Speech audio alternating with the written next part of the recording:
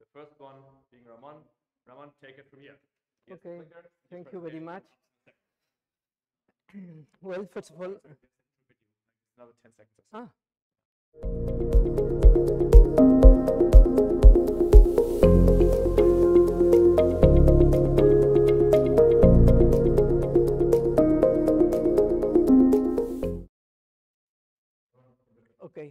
Well, first of all, I would like to thank the organizers and in particular to Dr. Emil Kendziorra for his kind invitation to speak here.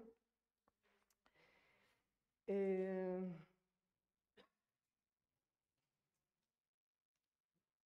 Okay, thank you very much.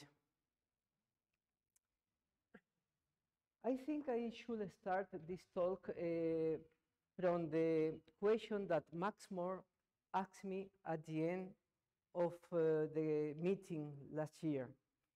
He asked me, well, but what about the brain? So the first part of my talk will be a kind of summary of what I spoke last, last year. In that way, I think I, I can put in context the, the question of Max, and also it will be useful for those who missed uh, that meeting. And in the second part, I will try to, to explain what I have done in this time in, in respect to, to that point. So, in principle, pointing there, pointing there, ok- okay, in principle, the cryoprotection, the cryopreservation of uh, isolated cells has not a problem at all. They can be all of the cells cryopreserved if they are, in solution, if they are, are isolated. The reason is that when ice grows, the cells can move and can go to the places where there is not ice, so there is no damage. However, when you have a cell that is uh, that cannot move, for example, inside a tissue, this is a this is an outside, this is a video. Can you please put the video? If the cell if the cell cannot move, you have to I, there down. Then uh, sooner or later, some ice crystal will enter into the cell, and the cell will be uh, dead. Absolutely, that is what happened with tissues and what happened with organs. So you cannot apply this trick of having ice and cells moving around. In, in 1965, as uh, Ben Best said in the last presentation, John Farrant arrived to the solution to that problem. In fact, uh, he had here a small uterus, and these are the contractions of the uterus induced by histamine. And after applying his method, you can see that the uterus was recovered. So in the 80s, uh, oh, in the 80s, uh, Greg Fahy started some, some program, some research program using that approach. Uh, and now we are quite often uh, habituated to see this kind of, of pictures. However,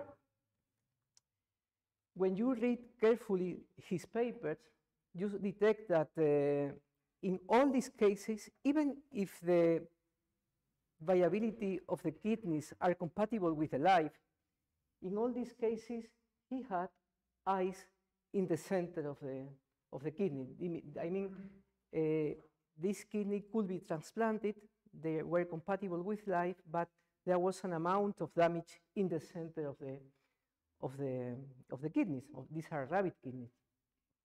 So by reading these papers, something like 20 years ago, I realized that uh, uh, there were two missing, two missing things. Okay, two missing things, uh, and two, two very uh, necessary things in order to avoid that. One is to have a map of the cryoprotectant during the perfusion. In certain sense, when he perfuse, he do it almost in a blind way, almost in a blind way. The second thing is that you need a quick rewarming in order to avoid the ice in certain parts of the, of the organ. So these two pillars were kind of my, of my ways in my, in my research since I started something like 20 years ago. So I decided to start first from the easy question, how to see the cryoprotectant inside.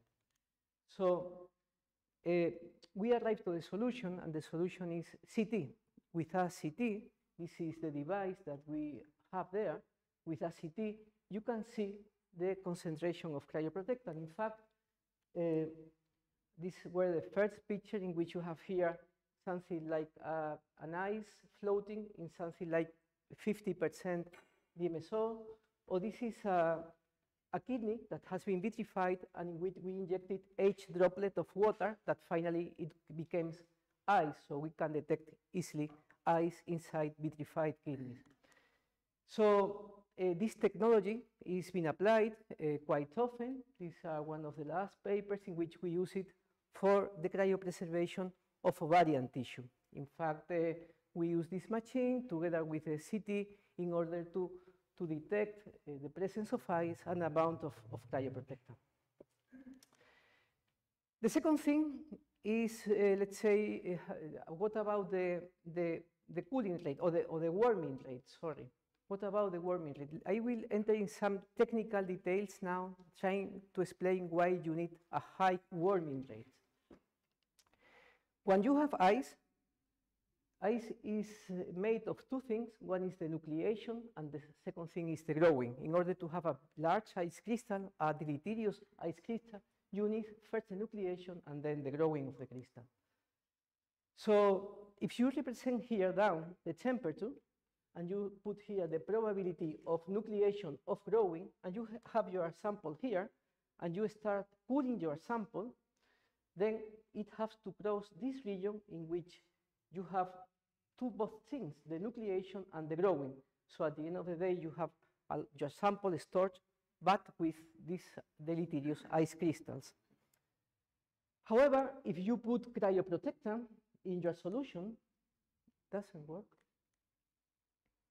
If you put cryoprotectant in your solution, these two probability cubes become separated, become split. So you have here first the, the growing uh, situation, and here you have the nucleation situation, or the probability of nucleation.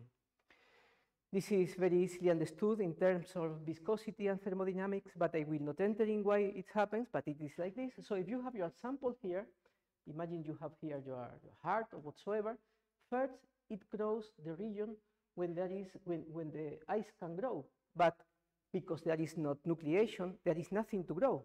So the, the, the, sample is safe, then it crosses this region and some nucleation start. But it is only nucleation without growing. So it means it, it is not harmful, it is not deleterious.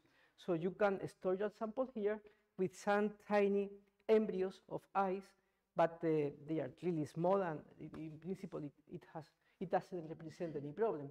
However, when you take from your liquid nitrogen and you want to rewarm your, sample, then you cross again the region when you have the nucleation, so some new embryos can happen, can appear, but now you have the problem. The problem is here in between minus 60 and minus 40 because you cross the growing region.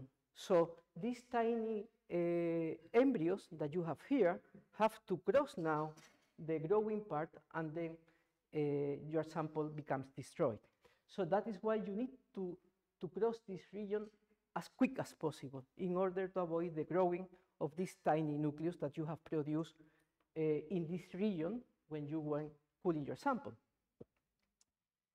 That is why you need a high warming rate.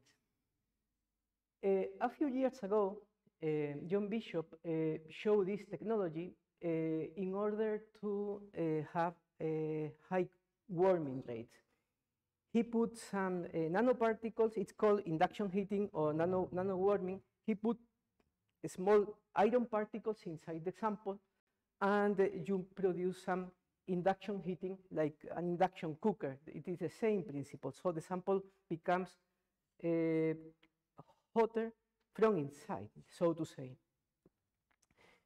Uh, it has some, some difficulties when you want to apply it because it is difficult to wash those samples. It is not trivial to wash. We tried many times in the past. the electromagnetic field is difficult, very difficult to control. That is why uh, microwave doesn't work as well because the electromagnetic field is really challenging to control. So you need to use here electromagnetic uh, uh, field that is created by this coil. This is um, an alternative uh, magnetic field. Usually you want to visualize what's happening inside, but uh, with MRI, that is a very convenient uh, technology for visualizing things, you cannot uh, put these uh, coils inside the MRI device, so you cannot see what's happening when you are when you are thawing, at least with MRI.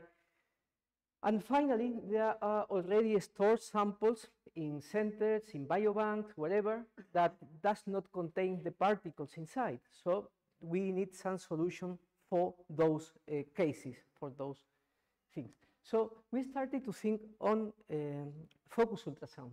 This technology is in use in many fields. You just focus your, the ultrasound in a point and you can have warming rates around uh, 200, 300 degrees per minute very easily. So this technology is in use for, uh, for example, burning tumors in the brain.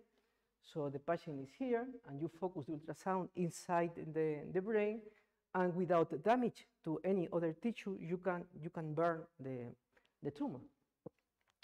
So we, what we did was first we, we uh, create some computer simulation, we, we made some patent on the, on, the, on the thing, and we published the results, and finally we decided to, well, we made some computer simulation that was a critical part to be sure that uh, the technology works. And once the computer simulation tell us that this can be used, we decide to, to build uh, the setup. These are again the computer simulation. You can see here how homogeneous, that is the, the critical part, how homogeneous is the warming through all the three axes of the, of the space, x, y, and z, uh, along time. This represents the rising of the temperature with, with time. So we decided to build the, our device. It was homemade. This is how it looks like. This is the electronic module this, that we did at, at the lab. And um, we decided to, uh, to recover adult worms. In principle, adult worms cannot be recovered because uh, in the adult state does not uh, withstand the typical cryopreservation. What we did was to use uh, focus ultrasound to recover those worms, and uh, this is the setup, how it looks like. This is the, the transducer. We put here the worms. This is the wave generator, the power supply, and this is uh, the worms, the adult worms alive after being recovered with these uh, ultrasonic um, fields. So now the second part, well, in this time, uh, before going to that, in this time, what we have done has been to go to some, no, to some medical applications. We are not working with uh, vascular tissue. In fact, these are aortic rings. In principle, if you need some vessels for the heart, you can put some plastics, some plastic tubes, but in the case of the heart, for the small vessels, you need some uh, not uh, synthetic thing. So the cryopreservation of this kind of uh, uh, vessels has an important medical application. And now we are pointing to the cryopreservation of small um, mouse heart. This is our next challenge. So now going to the question of, Max, of, last, uh, of last meeting, we decide to to start from the beginning, uh, from the beginning in our case means doing some computer simulation before the design of uh, um, the transducer. So we present here one of the possibilities that are quite convenient. Well, as you can see, it, it, it works, at least in, the simulation, and uh, it looks like, like this. Here you have a spherical uh, set of transducer. You have here a parabolic one, and the parabolic concentrate the, the ultrasound here in the center inside the, the MRI. With the MRI that is necessary in order to control the process, you, um, you have the control. You, you can do MRI thermography. So these are the part, as I said, this, these are the transducer here, this is the, the parabolic reflector there. You put here some ethylene glycol that should be cold, something like minus 120 or 30 degrees below the TG temperature, and you try to, to, to point to this uh, situation. This is how the pressure fields look like, so we realized that was a safe region in here that uh, can be used in order to uh, thaw something like a 20 centimeter diameter uh, organ. This is a small video showing the simulation that in this video, if, if you are so kind, in this video, you can see that there is in the middle a region that uh, it was quick, but uh, that is the, the safe region, in fact. And uh, in another way of seeing it, uh, this is the, here, you can see the uniformity of the warming, that is what you need, uh, along all the head with this configuration. We can use other configuration, not, uh, not only the, the spherical plus parabolic one. This is one possibility that uh, would be convenient, but maybe we can avoid even the parabolic part. And uh, this is uh, again another simulation of the same setup because we try to look from all the sides. So each time you have you see here a line, there is one degree of difference between one side and the other. So you see that the the the, the heating is really homogeneous in, in these cases. But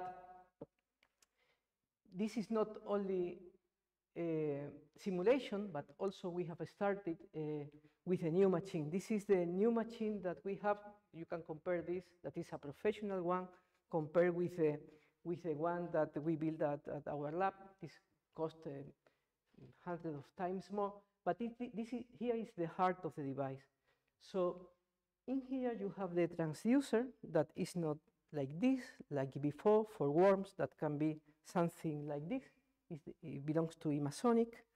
And with this uh, device, this device is the heart. It produced the miracle of controlling the heating in principle of any rodent organ. So we hope to apply that soon to any mouse organ like hearts or brains uh, or whatever.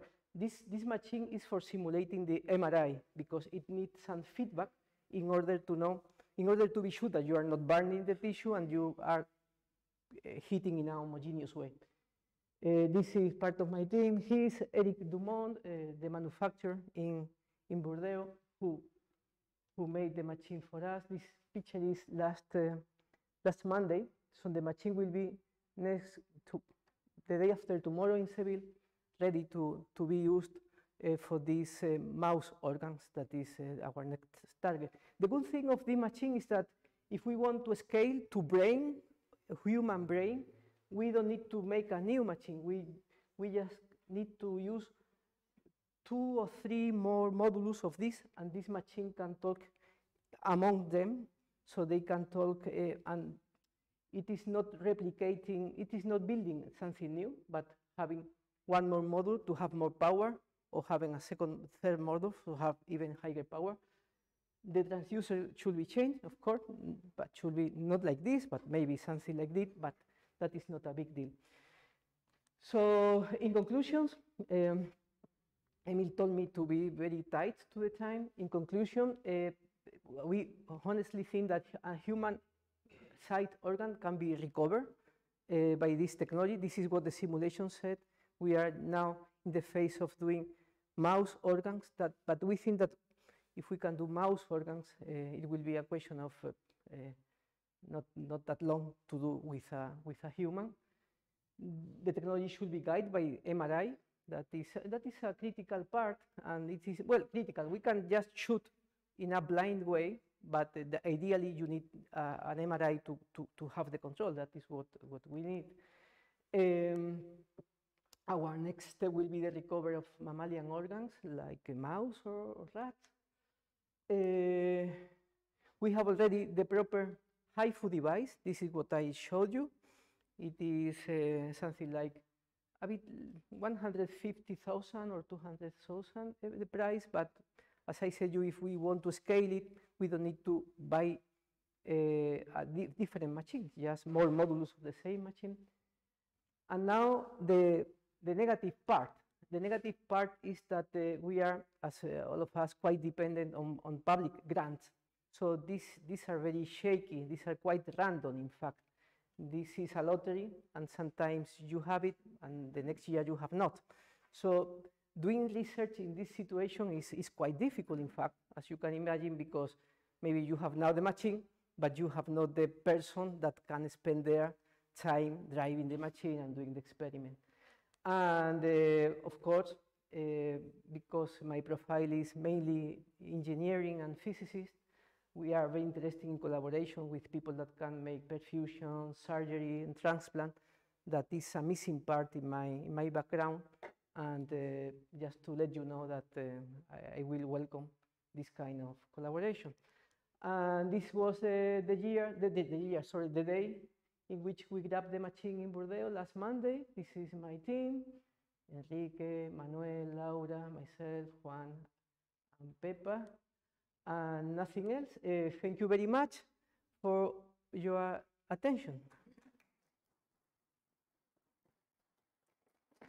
Uh, and I have, I have, a, I have a, a commitment with. Uh, I think now by now everybody will talk. well, if you, if he's here, if you, you can ask him. Any questions? There's a couple of questions here. Um, I, mean, I have one, one question. So, so you present, presented the data or the initial data last year, right? At the, at the last conference in, in um, so how, somehow, how much progress over this year have you made in, in upscaling the size? Or, can you can you kind of predict where will be will there be a, a, complexity step at some point, or is it no, literally no. just scaling? It's uh, direct, from my point of view, it's directly scaling. Uh, it is a question of having more power. Now, the, the one that we have last year had 25 watts, that I, the one for thawing worms. The one that we have now is something like 300 watts that is necessary for thawing rodent organs like heart, mouse. If you want to do a, a brain, a human brain, what you need is probably two or three more modules of this one. But uh, uh, probably once we have done a, a rat or mouse organ, the problem is solved. It's not. Uh, and let's let's say we want to do a human kidney, something not brain size, slightly smaller, but not still relevantly bigger than a mouse heart, right? Like what would be ballpark estimation? What would be the cost to build it?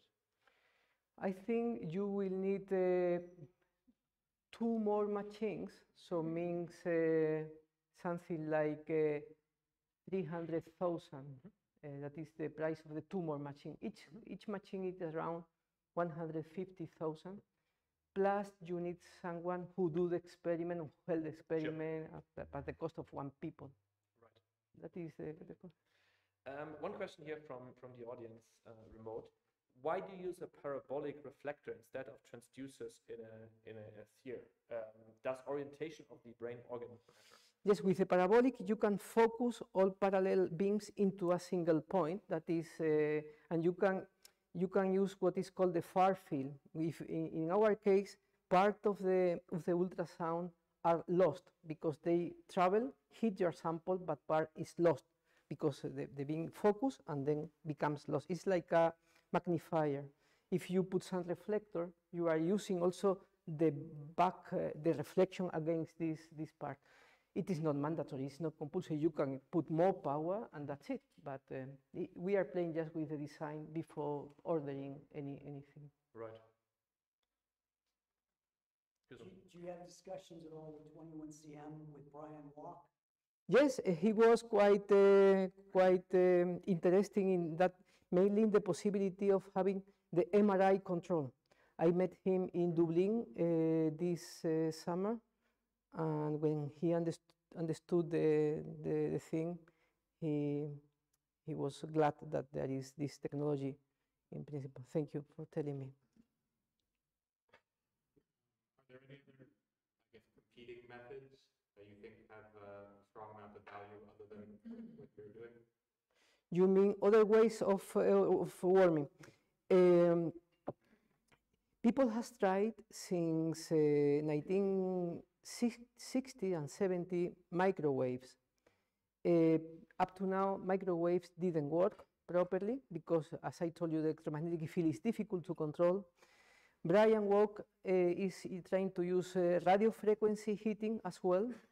Uh, it, they, they are tricky. Probably he's quite close by using this radio frequency, see? maybe not yet, but uh, trying.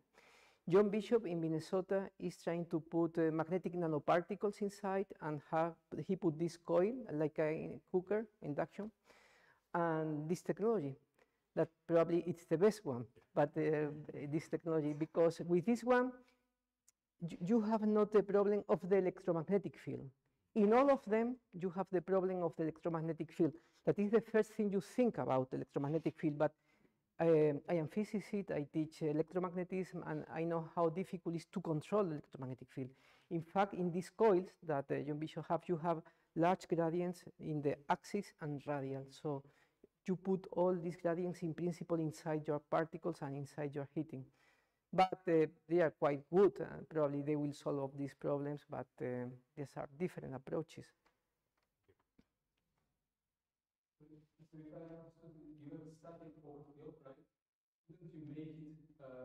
Uh?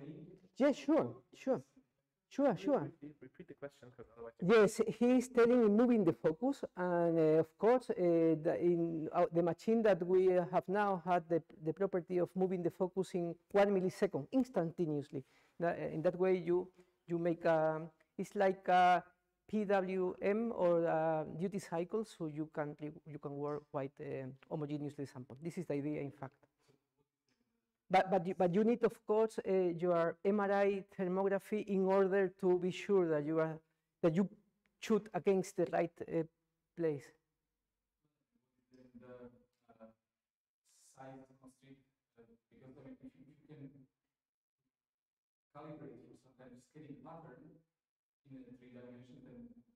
Not. There is not. This is what I what I insist. There is not precision. It's an scalable uh, technology, and scalable even with the simple idea of putting more generators. It is, it is straightforwardly scalable.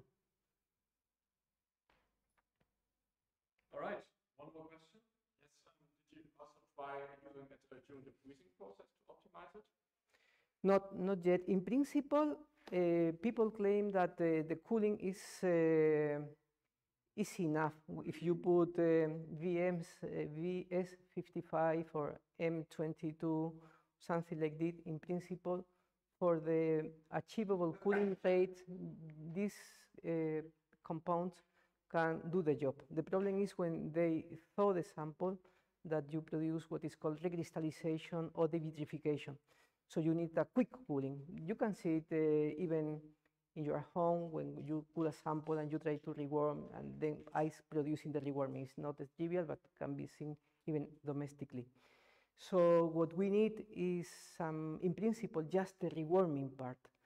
And people has not paid a lot of attention on that rewarming part because in principle what they are, first you have to cool in a safe way. But now that we think that we can cool in a safe way, maybe it's time to think in the rewarming. And of course, for medical application, it is mandatory. This can be used for biobanks, preservation of, of the biodiversity, preservation of, of the fertility in better condition because now ovarian tissue is not preserved perfectly. It Can be used for organ transplants, for organ banking. It has uh, all the application of cryopreservation. Even for even for uh, slow freezing, if you do uh, the small freezing of your sample, the conventional one, and you shoot with the ultra, ultrasound, because slow freezing has also the problem of devitrification. You need to thaw quickly in your water bath, otherwise you have damage. So it can be used also in that cases. All right, perfect. Then Thank you. I'll take over the microphone. All right. And we'll introduce the second to last speaker, Erik, remote.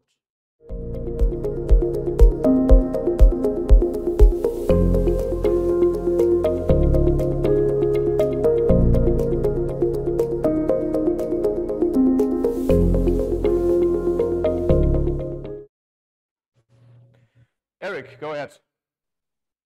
All right. Good morning. Actually, good evening, I should say, to everybody out there. Um, thank you very much for having me. I really appreciate the invitation.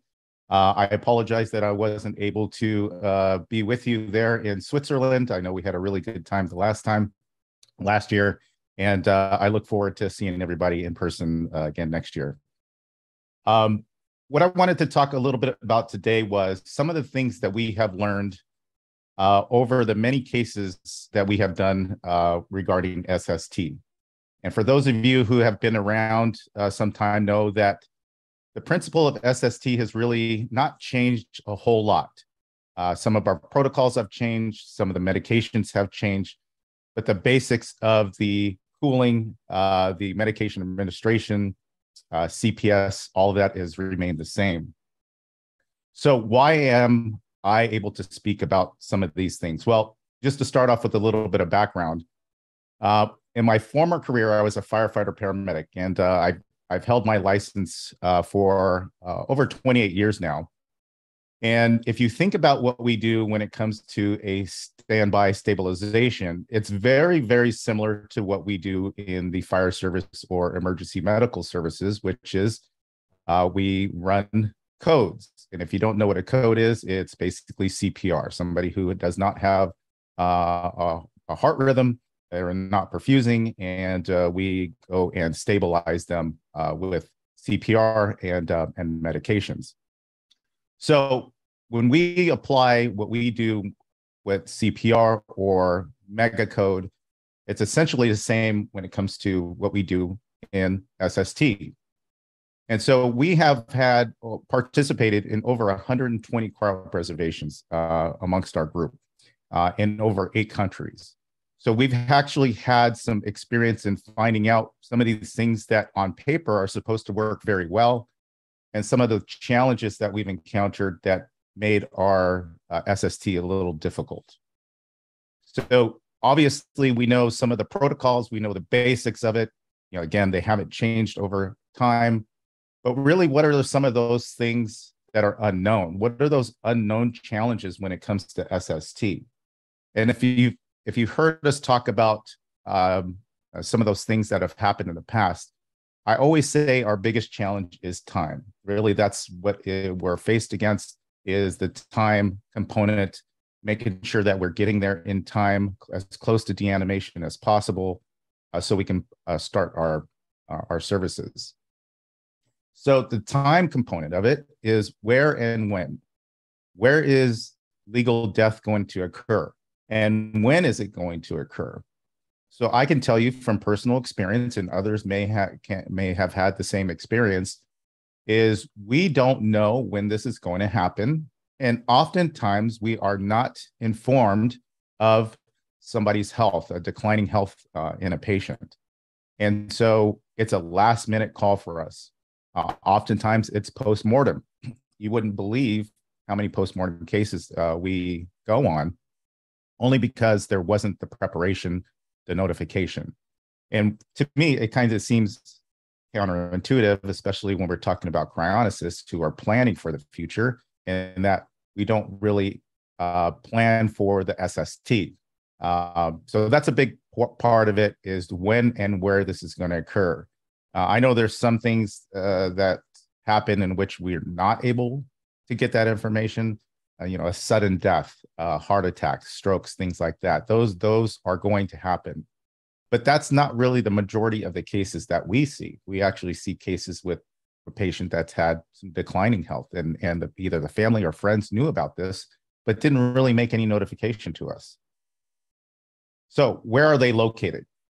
Are you going to uh, get to the bedside by plane, by vehicle, horse and buggy? How are you going to get there?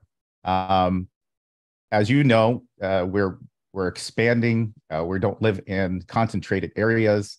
Uh, you know, in fact, even here where I live in Arizona, um, the suburbs, getting to the suburbs or the outer uh, ends of the city, uh, take quite a, quite a bit of time. And uh, with more and more people moving away from from a central location, that makes it even more difficult. So when we talk about time, we're talking about how are we getting there not only before deanimation occurs, but especially what happens post-mortem. So our biggest challenge really is that getting to the patient's bedside. And today it's actually been a little more difficult because most of our cases, well, we arrive by air. Um, I'll talk a little bit more about the um, uh, a specific case in which we had the opportunity to either drive or fly uh, and what kind of problems that poses. But we are often faced with limited flight availability or delayed flights or even flat out canceled flights. We've experienced that several times already.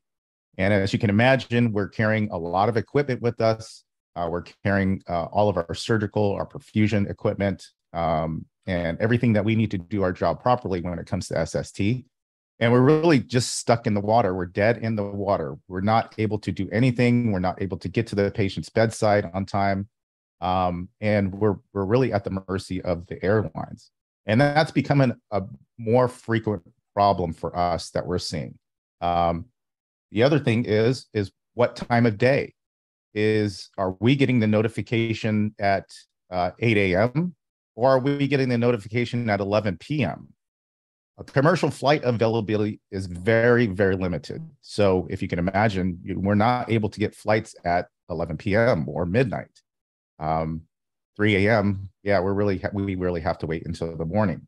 So the time of day really plays a big part on uh, the, the, the SST and the time component because oftentimes we we just have to wait until the morning to to catch a flight.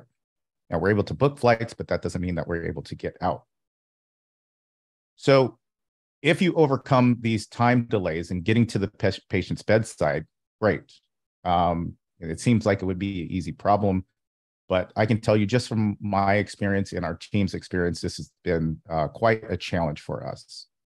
Um, if you've heard my talks in the past, you've heard me say um, being conservative is, is, is not a good thing. Uh, we don't want you to be uh, waiting to the last minute.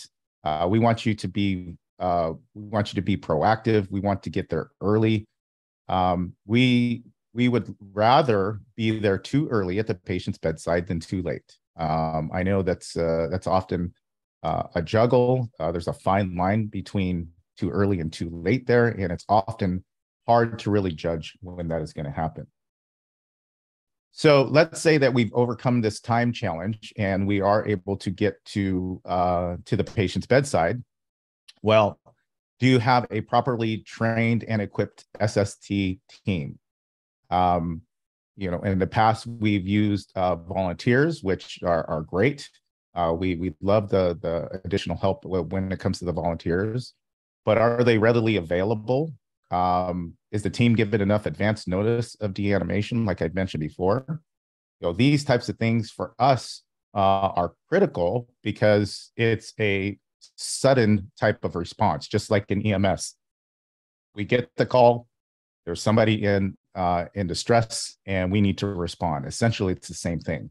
Um, you know, us here at uh, ICE, we often joke that we should wear pagers and we should uh, have our own station, which we have our bunks like we did in the fire service, and we would have an alarm bell inside of our uh, our our station, and uh, we would hop into our vehicle and we would respond just like we do in an ambulance or, or fire engine. Um, we we don't have the volume that uh, we have in, in EMS or fire service uh, in cryonics, so obviously that's uh, that's not really feasible. Um, but if you think about it, it's essentially the same thing: proper training, proper equipment, readily available to go at any time, uh, even if it is 3 a.m. Like we've had several in the past uh, notifications at 3 a.m. and we're able to respond. Uh, we often joke also that we would love to have our own vehicles, but even more importantly, uh, because of the distance between our patients, is to have our own aircraft. Uh, if we had our own aircraft, uh, we've shortened that time of response quite a bit. Uh, we're able to just uh, get into our own aircraft, fly to the patient's bedside, sometimes even closer uh, than we can in major metropolitan areas.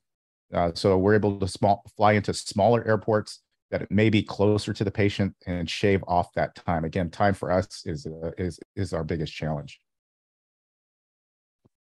So in the standby, we want to get there as close to legal pronouncement as possible. And again, this is very, very difficult to predict. We we don't know when this is going to occur.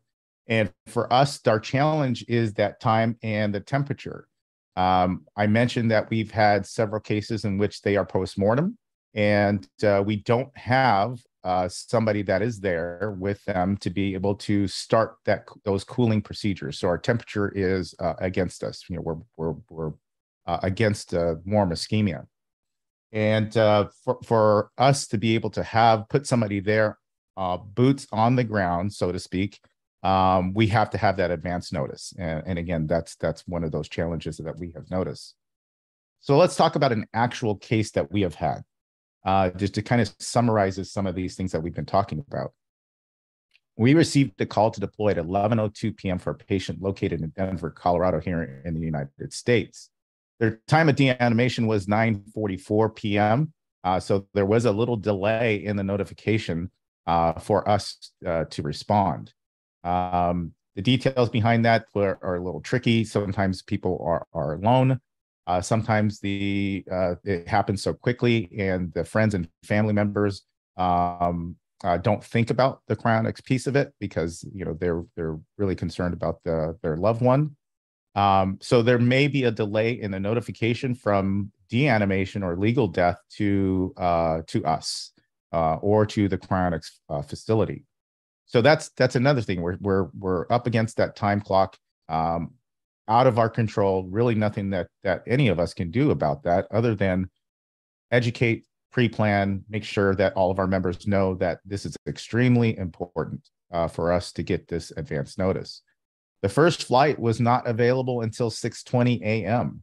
Uh, so if you can imagine, we were ready, got the notification at 11. We could get our equipment ready to go in less than an hour. And and uh, and if we needed to, we could be at the patient's bedside if they were close uh, within just a few minutes. But because of commercial flight availability, we weren't able to leave until the early morning. Uh, the flight time is one hour and uh, 49 minutes. So not a lot long fl- flight time from Phoenix to Denver. I mean, it's a it's a, it's a very short flight.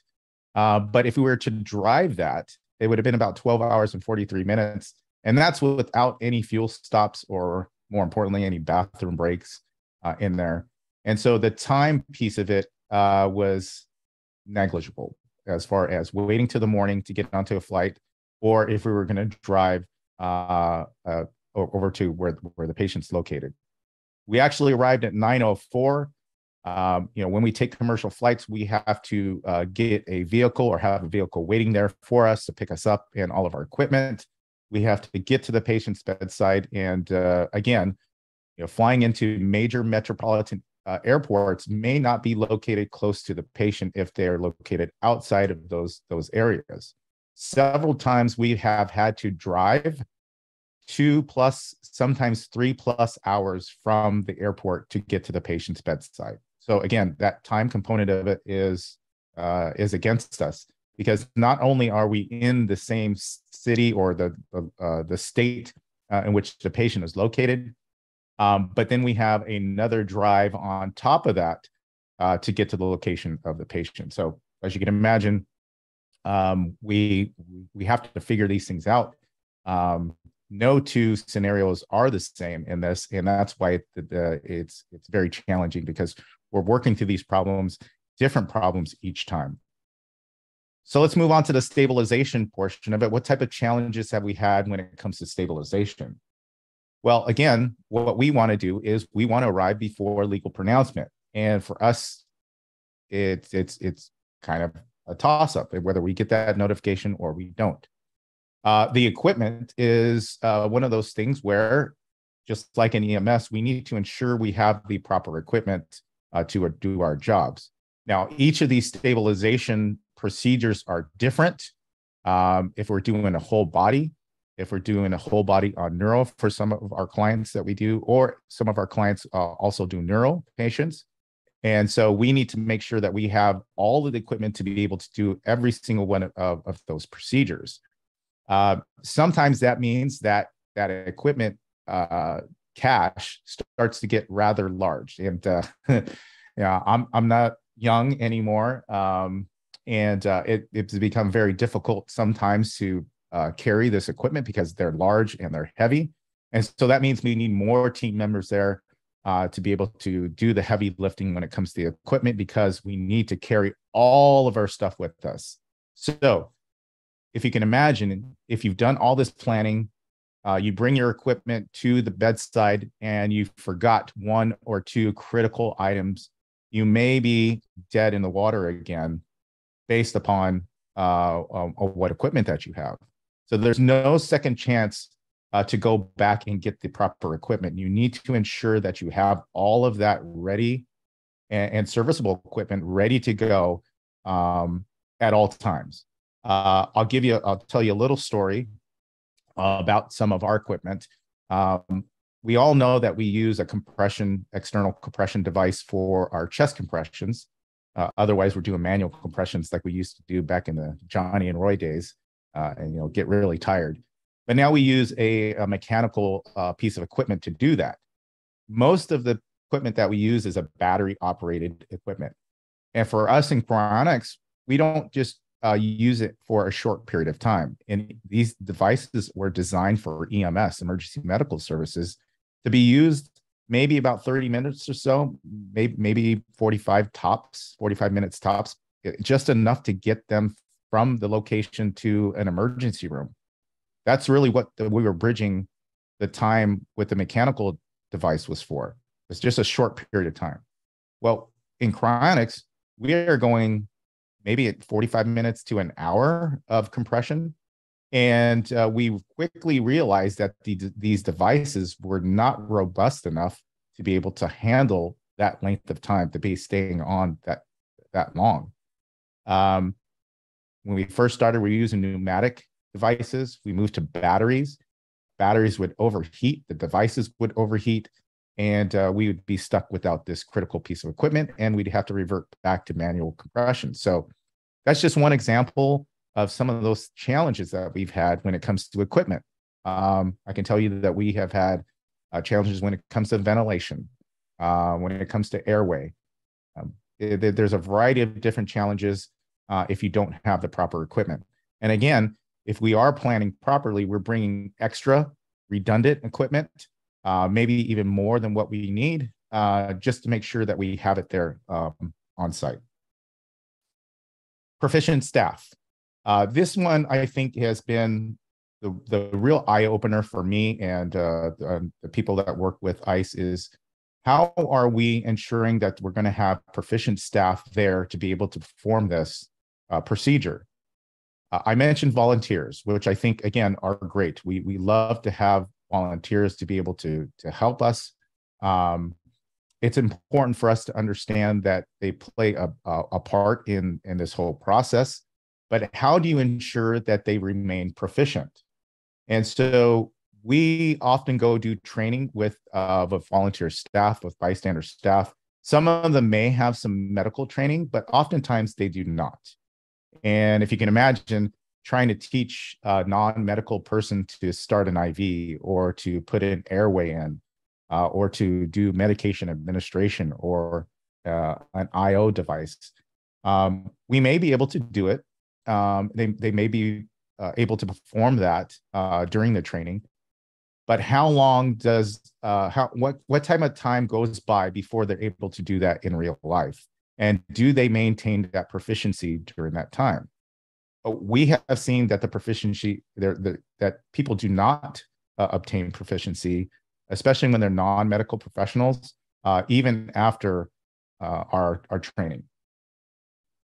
So, if, if, anybody's uh, in the medical field, you probably have heard of uh, Benner's five stages of nurse development, and this is kind of what we see when it comes to proficiency uh, when it comes to bystanders in the cryonics field. Uh, we take novice and we try to train them to an advanced beginner.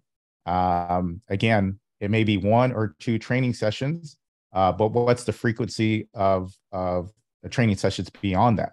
Are we doing it every year? Are we doing it every two years? And are they going to be able to remember all of those things that we trained in that session? really we want them to get to a comp to where they're competent, uh, a competent person to be able to perform these things. But really, you need somebody there who is proficient. You need somebody who is able to guide, direct, coach, mentor, and possibly train those team members to be able to perform these things uh, in a proficient manner. And again, uh, the volunteers are important, but everybody has their own uh, jobs, they have their their own lives, and they're not solely focused on this piece of it to maintain their competency. Uh, so this for us is, has been one of those things where we say it's not only uh, the cryonics field itself, uh, but it's us also internally when it comes to those SST providers out there. Are we providing the SST service on a full-time basis, like I mentioned before, where we're readily available 24 hours a day, seven days a week, uh, where when the alarm goes off, we hop out of bed and we respond to the location? Or is this something that is done uh, secondary, second secondary to to our other jobs? Um, the volume is not there for us to be able to support something like that, um, unless you have some uh, outside sources that have the financial means to support an organization to to remain uh, fully readily available 24 hours a day, seven days a week. So in the stabilization piece of it, uh, we're going to do rapid cooling via wet ice CPS, as I mentioned before, medication administration.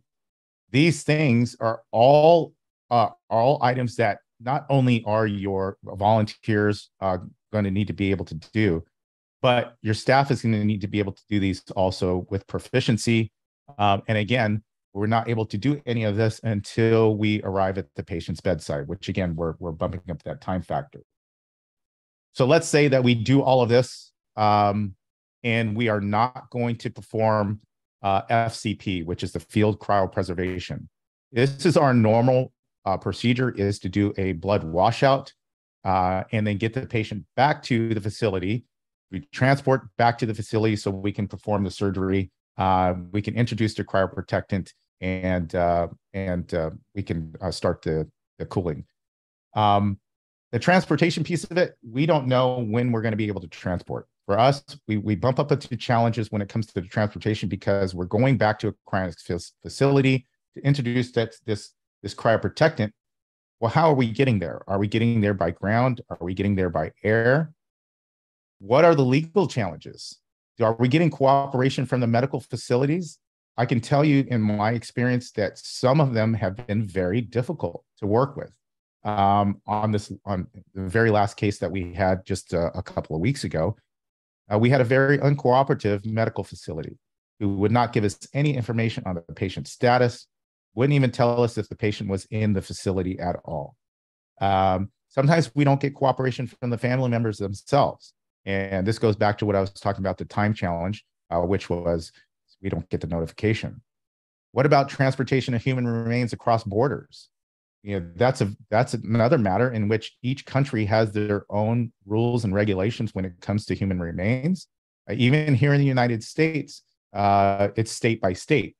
So we're not going to be able to uh, transport human remains across state uh, state border without the proper documentation and sometimes that documentation is is difficult to get and then there's the perception of cryonics not everybody knows what this is uh, it's very science fiction to some and and and they we don't have everybody believing in the science like like we understand it and so we have to overcome those challenges too and and i can tell you that sometimes that's that's been very difficult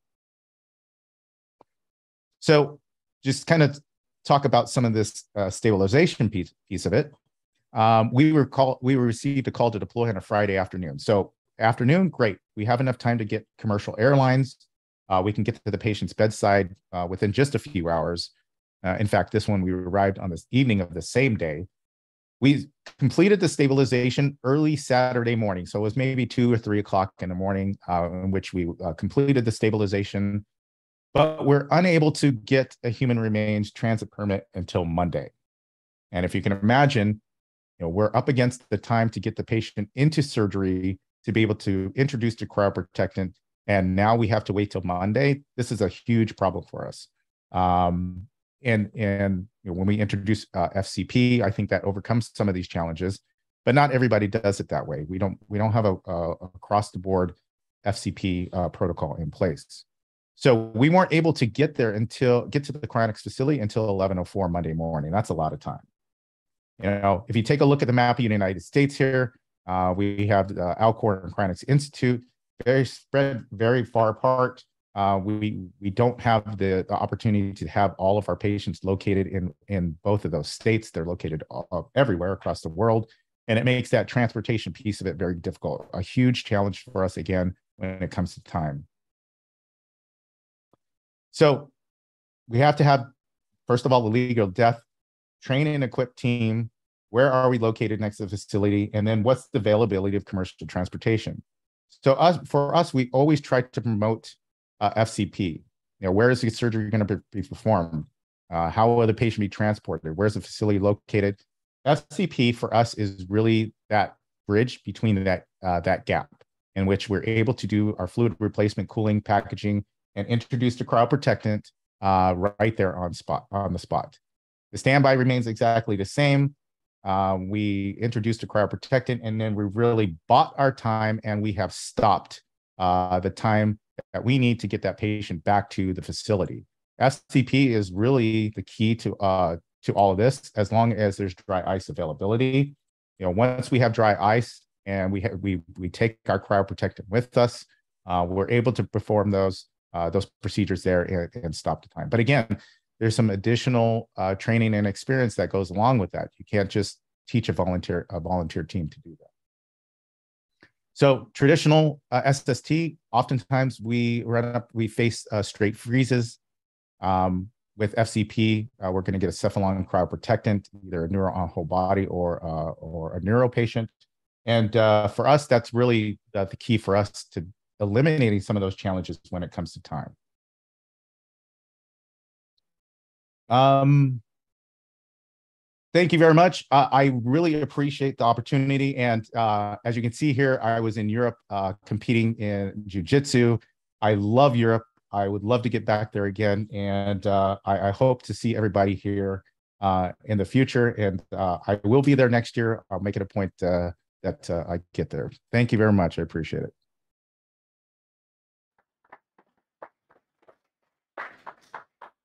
Erik, thanks a lot. Uh, we probably have time for one uh, or two short questions. Is there any questions in the audience? Otherwise, so, so one question I have here from someone who listens to the talks remote.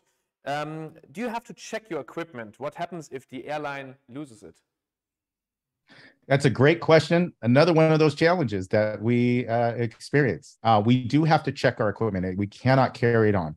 Uh, we take upwards of 10 sometimes 12 Pelican cases with us. And that includes all of our surgical equipment, all of our SST equipment, and, and our cryoprotected if we're going to do FCP. So it has to be checked. We can't we, we cannot carry on that equipment. And yes, if it is lost, we are dead in the water. Now, what we do is we put trackers in our luggage. So we use Apple AirTags. Uh, we use um, uh, other devices to be able to, to track um, but for us, the, the Apple AirTags seem to work very well. Uh, but it does happen. Luggage does get lost. And, and again, another challenge for us. Then, oh, yeah. Question? Yeah. What happens if the, uh, the TSA doesn't allow Right. Erik, real quick, what happens if the TSA doesn't uh, allow a neuro patient to be chipped? chipped? A, a good question. Um, it's kind of hit and miss, uh, but uh, there's times where we have rented the vehicle and driven uh, the cephalon back to the cryonics facility. So a long road trip is what happens if we're able to do that.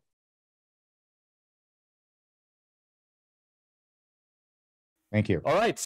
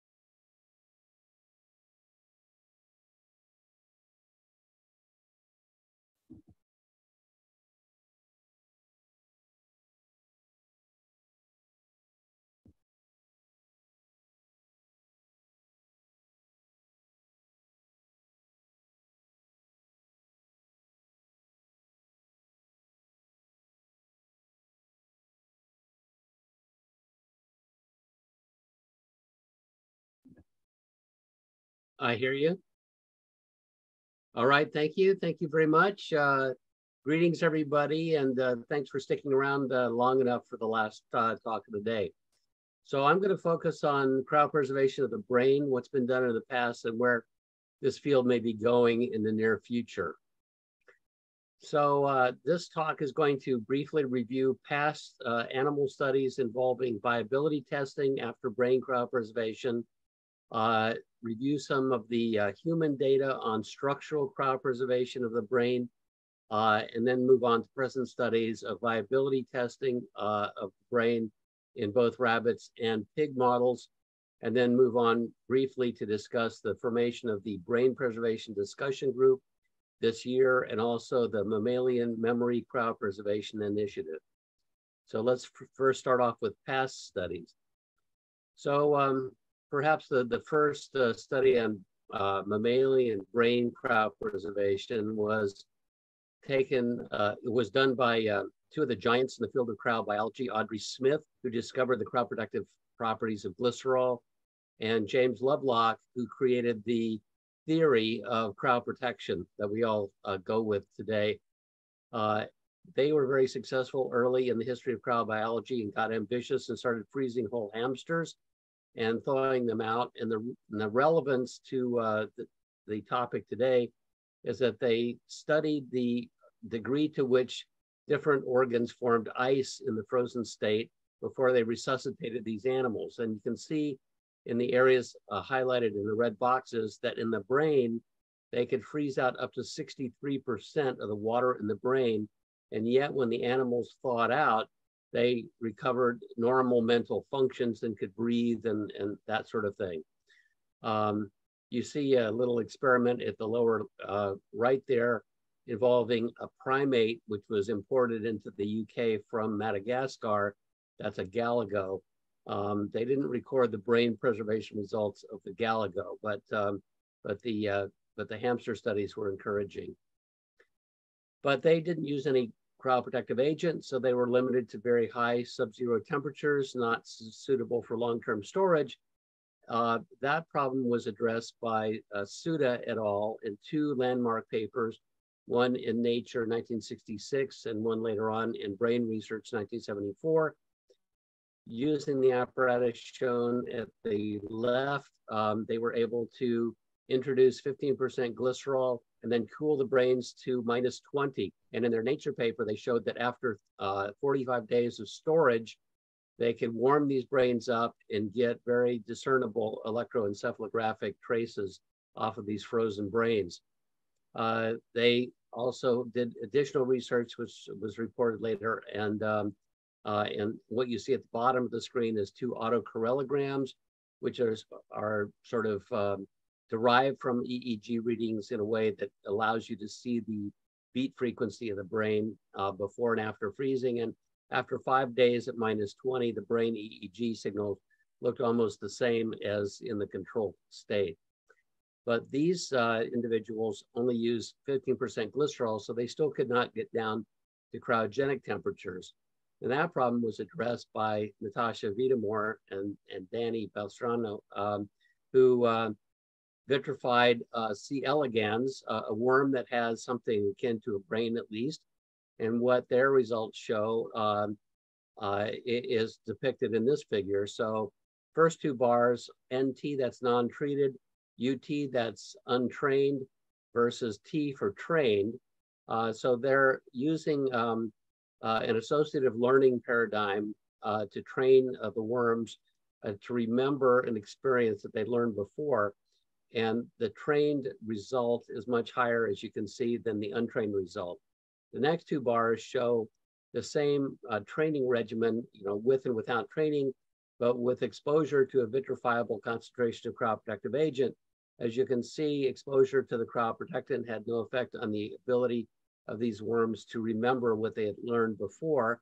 The next two bars, the red bars, are after the worms are vitrified and rewarmed, and there's no difference really between any of those results and the preceding results. And then uh, the, the light bars that follow that are worms that were treated with less cryoprotective agent so that they could be frozen uh, and, and that, that cryoprotectant treatment did not affect uh, their memories. And then after they were frozen and thawed, they retained their memories as well, even though 80% of the worms died as a result of being frozen and thawed versus 100% survival after vitrification. This shows that the recovery of memory after freezing and thawing is more robust than the recovery of the worm itself.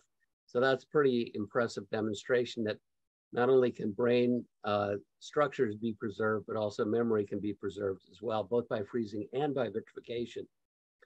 So now we move on to the human level, which of course is very relevant to this group.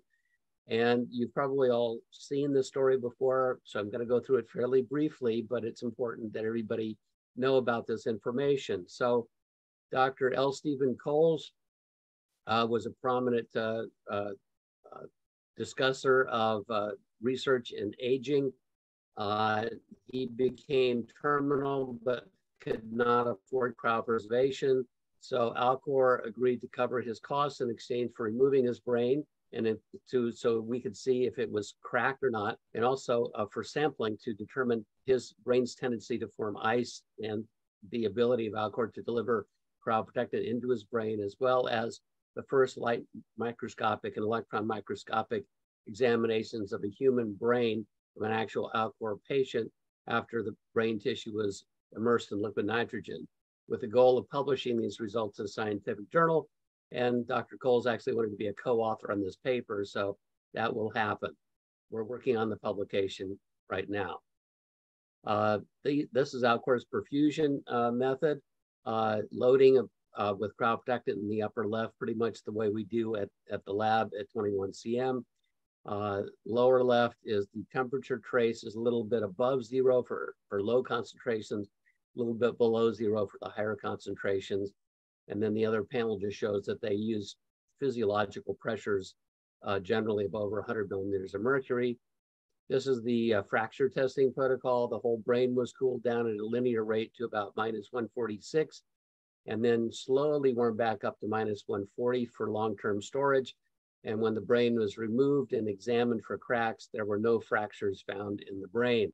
So that was very encouraging. The tissue sampling involves samples about the size that you see here, and they were further subdivided for some of the remaining tests. I'm not going to go into the detail about you know how you interpret these curves, but these are differential scanning calorimetry traces demonstrating that no ice formed in Steve Coles' brain samples upon cooling uh, slowly at one degrees Celsius per minute and, uh, and warming uh, back from, from uh, minus 90 uh, at, at high speed. So uh, he was very well cryoprotected. And these are just further elaborations. And again, this is a very complicated protocol that you see on the left, which I'm not going to explain to you, but what you see on the right is that when you warm his brain up after going through every gyration possible to encourage ice formation in his brain tissue, there's no melting peaks, meaning that he did not form any ice uh, at all. So his, his brain was extremely well cryoprotected. If you look at the permeation of cryoprotectants, individual cryoprotectant components of M22 into his brain's liquid space, the brain liquid space is about 55% of the total volume of, of the brain. Uh, and you can see that NMF, ethylene glycol, uh, permeated completely, methoxyglycerol, so-called, and DMSO uh, penetrated pretty completely, formamide not so much but the brain was still very vitrifiable because of the shrinkage that uh, was, was uh, experienced, which concentrates proteins and, and contributes to glass formation tendency. Moving on to the light microscopic results, what we saw is the field after field after field. Uh, there's no ice holes in the brain. Everything looks to be there. Uh, the white spaces you see are capillaries. Um, and if you look at a higher magnification, you see the same thing. You see that the uh, molecular inventory of the brain looks like it's there, at least in terms of what we call ground substance. Uh, it's dense, it's compacted because of the shrinkage of the brain, but all of the material seems to be there. And at higher uh, magnification still, you still seem to see uh, everything still being there. And th these are not selected data. Now, every once in a while, you'll see things that might look like damage, but I don't believe that this is damage. Um, this uh, figure just shows that if you cut uh, through uh, certain areas at a, at a certain angle, it will look like the cells are detached from each other, but that's really not significant. Don't have time to go into any more detail about that, but uh, I, I think that this is really great histology in my opinion. Okay, so, but you really can't tell until you go to the electron microscope level. So this is a series of uh, electron micrograph images of this human brain uh, tissue, which has been uh, taken down to liquid nitrogen temperature and then warmed back up again. You see beautifully preserved capillaries. You see uh, very dense uh, and, and preserved uh, neuropile. You see this black thing in the middle of the screen, which is some kind of pathology that Dr. Coles had before he got cryopreserved. It's not specific to cryopreservation. You see the same thing all over the place. Um, you see uh, twisted, you know, sort of distorted uh, large axons, but that's not informational. That's not really biological damage. So uh, I would say uh, the structure is very intact. Uh, here's another example, low power electron microscopy, beautifully preserved capillary, less separation of capillaries from the surrounding neuropile than we see in animal brains. Again, a less shrinkage of axoplasm uh, in, in the uh, large axons than you see in animal brains. Uh, much better preservation of myelin than you see in animal brains. Uh, and then uh, again, just to show you that we see the same thing over and over and over again, no matter where we look. These are not selected images to, you know, made to look uh, good. These are just the way that this was. So now going to even higher uh, power electron microscopy. This is 15,000x. Uh, this is at the level where you can begin to see some synapses it's hard to see them in detail because the brain tissue is very shrunken, but you can see that there's sharp demarcation between extracellular shrinkage spaces, which are the white spaces, and uh, the cytoplasm in these very fine neural processes. That means the membranes are intact. You can see the, the synapses, uh, which implies that the connectome is intact as well. Here you see the same thing at 12,000x uh, nicely preserved axoplasm within nicely preserved myelinated uh, myelin sheaths uh, and, and otherwise uh, well-preserved structures and synapses. And uh, here's another shot um, at 22,000x showing basically the same thing. Here's another shot at 24,000x showing largely the same thing. So to summarize these human uh, studies, the first ever evaluation of an actual uh, Alcor biostasis case showed no detectable fracturing, no ice crystal formation uh, or damage, uh, no apparent disruption of histology, what I would call good preservation of ultrastructure and hopefully uh, good uh, uh, connectome preservation and better structure than seen in, in animals. So now let's move on to present day studies. So what we're doing at 21CM is we, we've shown, I think, that we can preserve brain structure. And I skipped over all of this extensive rabbit data in which we partly wash crop active agents out to show you that the kind of structures I just showed you for Dr. Coles' brain uh, really uh, does represent intact structure when you begin to dilute out the CPA and, and reduce the shrinkage of the brain. So we believe that we're about ready now to go into viability testing after a variety of background treatments, including uh, low concentrations of cryoprotectant and then higher concentrations of cryoprotectant. Of course, we have to do our controls, uh, untreated control rabbits and uh, hypothermic rabbits, since you have to add and remove M22 under hypothermic conditions. Eventually, of course, we want to be able to vitrify the brain, rewarm it, and test it for viability, but we're a few steps away from being able to do that. Meanwhile, we do have a pig model at the lab, and we're going to be testing pig brain viability under somewhat similar uh, conditions uh, overall, although the details of the experiments will be different. This is Ralph Spindler's uh, brain viability testing device. Uh, Ralph is the co-author with me on this uh, presentation, and he's our point man for brain cryo work at, at 21CM at the moment. Uh, you can see in the middle uh, uh, a tank, uh, which is basically a constant temperature tank. It contains various uh, uh, apparatuses such as oxygenators and uh, reservoirs and, and that sort of thing. It's surrounded by pumps, which add and remove water or uh, chemical agents or perfusates uh, to the brain or to the reservoirs. You see at the lower left a schematic of a rabbit uh, cephalon enclosed in one of these reservoirs. Uh, and I'm not showing you the actual cephalon, but we have done several. This is an example of some of the measurements and some of the techniques that, that, that we're beginning to use. Uh, so uh, in order to maintain a brain at normal temperatures or near normal temperatures, you have to oxygenate it well. In order to do that, you need to have a good oxygen carrier. There are no suitable artificial oxygen carriers at the moment. So we use blood, but it takes a lot of blood.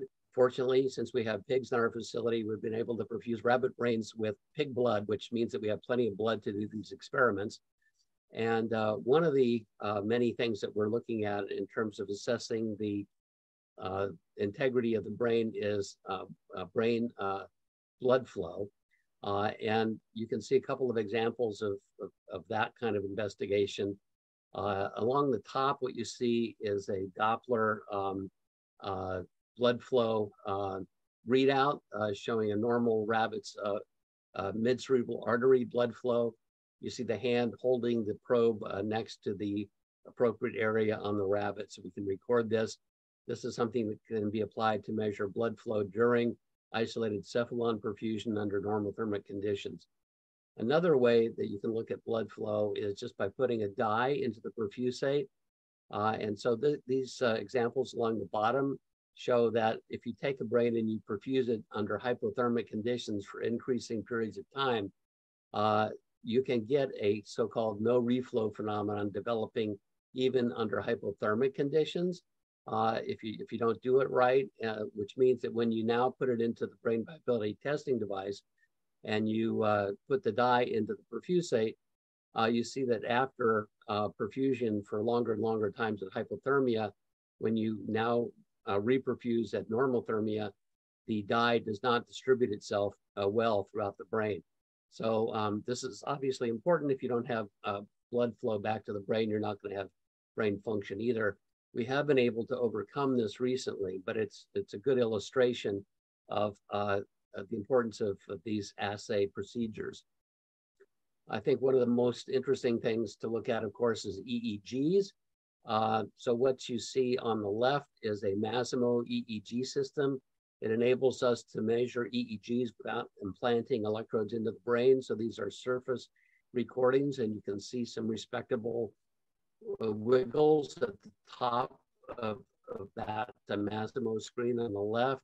But one of the reasons that we chose the Masimo system is it reduces all of this down to a single number called the patient state index. Uh, and that is a general indication of the state of awareness of the, of the cephalon. And uh, what you see at the upper strip is recovery of the state index as uh, an anesthetized control animal wakes up from anesthesia. You can see it's low at the beginning and it comes up uh, to a high level as the animal wakes up. And our uh, goal would be to look at the gray zone between the uh, totally blank uh, state uh, and, and the awake state so that we can demonstrate brain function in anesthetized cephalons, uh, even though we can't bring them all the way back to full awareness. Uh, now, more interesting experiment shown in the bottom in which we've taken the cephalon, we've perfused it at 35 degrees with blood uh, and you can see that although it takes a while, after about 40 minutes or so, as indicated by the arrow, uh, the state index begins to come back, represented by those black dots at the bottom of the screen, which means that we do have an assay system that we can apply to cryoprotected brains. We have begun to do some cryoprotection experiments. What you see at the top is loading of a brain uh, up to one molar uh, cryoprotective agent. Uh, that's the top panel on the top, and, and the bottom panel on the top shows the uh, brain's uh, perfusate flow increasing uh, as we increase the cryoprotectant concentration up to the one molar level. What you see at the bottom is that if we do this in a normal way without opening, up, opening up the blood-brain barrier, there's some mild brain shrinkage, actually more mild than I would expect. But if you use SDS to open up the blood-brain barrier, a la Yuri Pichugin's trick, uh, you can prevent that brain shrinkage as compared to brain weights that are obtained under uh, short and long-term hypothermic conditions, which are the gray and, uh, and uh, light orange bars uh, to, the, to the right. Uh, this shows application of the Masimo system to our pig model. You can vaguely see the pig in the background recovering from anesthesia, the Masimo system in the front reporting the data, and then the state index is uh, obviously in the upper left panel, and you can see that there's quite a, a, a good uh, amount of territory between a completely anesthetized pig and a pig that's uh, beginning to wake up and, and move around uh, uh, at the higher state index levels. So we think that, uh, that this system will actually allow us to measure EEGs after we cryoprotect protect both rabbit and pig brains. So where are we going uh, that we haven't gone yet? Uh, well, we're beginning to look at a lot of different possibilities. This year, I was approached by uh, uh Regina Monaco, who's the lady on the upper right uh, of this uh, panel. And then coincidentally by Laura Jenks, who's the lady on the upper left panel. Um, and um, these are both neurobiologists who spontaneously decided they were interested in brain cryopreservation. And so they contacted me to talk it over. And um, over time, you know, I realized that uh, we had several people that are interested in this. And so we put together the brain preservation discussion group earlier this year. Um, that's Ramses Alcade uh, next to Laura Jenks. Uh, he's an information technology specialist. And uh, as I mentioned, Laura and, and Regina are neurobiologists. And then next to um, Ramses, you have the very well known to this crowd, uh, uh, Alexandra Stolzing. Uh, she's interested in brain resuscitation, and I expect her to be uh, taking up shop in my lab, uh, hopefully before the end of this year to help us learn how to keep brains happy during these brain viability testing experiments. Uh, and we have another anonymous member of the discussion group indicated by that black box, but the discussion groups also uh, includes the usual suspects of Brian Wowk, uh, Ralph Spindler, myself, and we just added Ashwin DeWolf. Aschwin actually has not discussed anything yet, but we just made him a member of the group. So welcome aboard, Aschwin. So one of the things that uh, we're trying to move forward with, uh, uh Monica, I mean, uh, Regina and I are going to um, try to do uh, a new kind of experiment uh, in this realm. You might call it a brain in a dish experiment, but the object of it is to be able to prove that complex mammalian memories can be cryopreserved. And uh, what you see in the center is a figure taken from a paper I'll introduce to you in the next slide. Uh, and that, that, uh, that uh, illustration shows brain cells in a dish in the middle but they're being talked to by a multi-electrode array uh, and their responses are being recorded from another uh, multi-electrode array. Uh, and um, this means that you can talk to the brain uh, cells. So in a way, this is a little mini brain uh, and you can teach it things and then you can look and see if it remembered what you taught it. So this overcomes all of the mechanical problems of dealing with whole brains, but it preserves the basic brain biology of memory and learning. Uh, and so it should be a really excellent model to look at for proving that not just nematode memories, but also mammalian memories can actually be cryopreserved. This slide gives a little bit more detail. So DeMarse is the one who came up with this uh, and published uh, in 2004. And uh, what you see on the left is an airplane whose uh, position can be changed and whose uh, position can be recorded uh, by a video camera. So what you see on the right is that the image of the airplane is recorded by a video uh, capture device, which is sent to a computer. And then that information is relayed to the brain cells in the dish. The brain cells in the dish then can be taught to uh, control the attitude of that plane to keep the wings horizontal instead of letting the plane, quote, crash, unquote.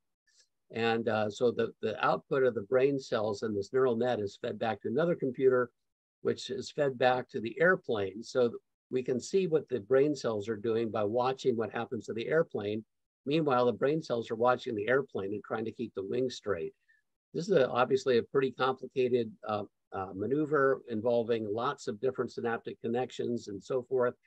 And uh, if we can teach the brain cells in a dish the, a complicated um, uh, memory uh, or, or skill such as this, and then cryopreserve the brain cells and warm them back up and show that that memory still persists, it'll be very convincing evidence that uh, the molecular mechanisms of uh, memory and, and, uh, and of learning are, are preserved uh, in mammalian systems, not just nematodes, but in actual brain cells. So of course, we'd like to know if those networks will remember after cryopreservation, but uh, we'd like to see if we can then, if, if that's successful, can we go on to train a hippocampal slice to do the same thing? Can we teach a hippocampal slice to fly an airplane? The nice thing about doing that sort of thing is that that's such a discrete and obvious memory that if you can if you can demonstrate it, then there's no question that you've trained uh, the slice to do something. And the beauty of that is that the hippocampus is where memories are normally formed in the in the intact brain. So now we're not just talking about an artificial system of just uh, uh, molecular biology. We're actually talking about brain circuits. And then if we could make that work, could we actually teach a hippocampus in the intact brain to fly an airplane also, which is clearly a little bit more complicated, but that is not necessarily beyond the realm of possibility.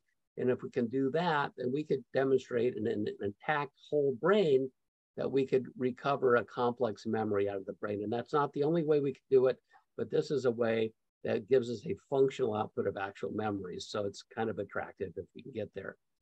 So in conclusion, I would say that brain cryopreservation is a viable and surprisingly, it's a rapidly growing area of research right now. People are beginning to get interested in this.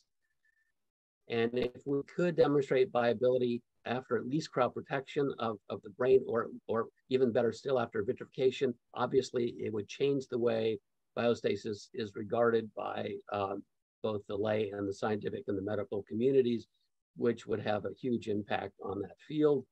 Uh, and in the meantime, you know, I believe that there are exciting possibilities for proving that complex mammalian memories can be cryopreserved using techniques that can be applied in the not too distant future. So I want to thank everybody for your attention. I want to thank Alcor and Steve Coles and his wife, Natalie Coles, who was instrumental in the human structural experiments that I related to you, which was an important milestone along the way to just, you know, to proving that this sort of endeavor has uh, some uh, scientific basis and some potential. I want to thank the European Biostasis Foundation and AML for inviting me to participate. I have to thank uh, all of the people at 21st Century Medicine uh, for helping me with all of the experimental results, including particularly Ralph uh, and, and Brian uh, for their role in the brain cryopreservation research that I shared with you today, as well as much other research. And of course, the, the new members of our uh, brain uh, preservation discussion group, including the anonymous one that I do not have a photograph for uh, you for right now. Uh, and of course, Bill Falloon and Saul Kent, who have been instrumental in allowing our lab to stay open all these years, uh, currently uh, via the mechanism of uh, the uh, Biomedical Research and Longevity Society. So thank you very much for your attention. And if the, we have any time, of course, I'd be happy to entertain any questions.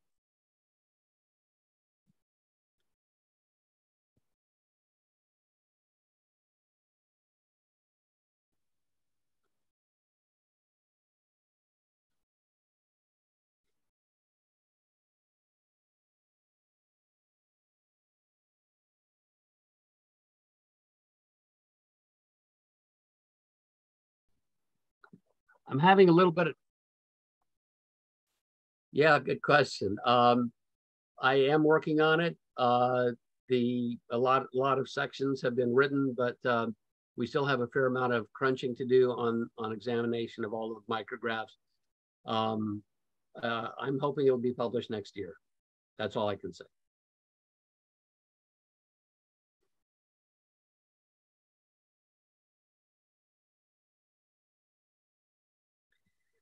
Yes, uh, I skipped over those details, but uh, it was perfused, uh, I believe, a little over three hours uh, post mortem.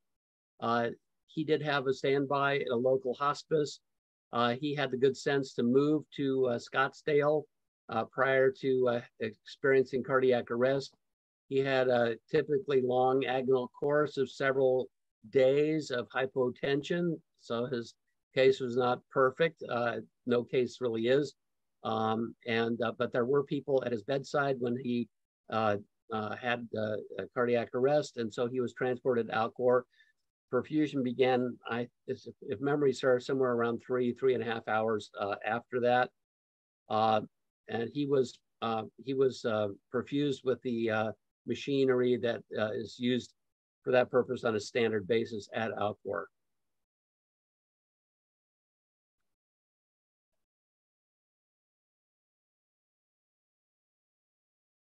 Just, just to uh, take off on that last question for a moment, I know there's a prominent uh, MD uh, in Spain who uh, has his doubts about biostasis because he feels that if uh, the brain is uh, perfused more than three hours post-mortem, it's not going to perfuse at all, and therefore you're not going to be able to cryoprotect it. And obviously, that is not the case, as, as that is, as Steve Coles' case demonstrates.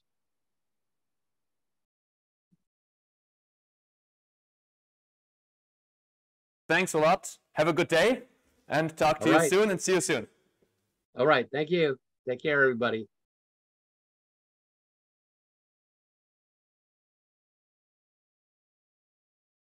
Twenty twenty-two. Um, I hope to see you all next year, either in a workshop format or maybe pure workshop, um, maybe training, um, maybe a presentation or, or like a conference with talks again. We're going to figure that out in the next couple of weeks and then announce Biostasis 2023. Until then, I'm more than happy to have you had all here in, in Switzerland. And of course, I would also like to thank everybody who joined us remotely. And a couple of times during these days, we said, reach out, let's start working together. So one last call to action to actually do that. And until then, um, I would like to thank you for attending and then seeing you soon. Thank you.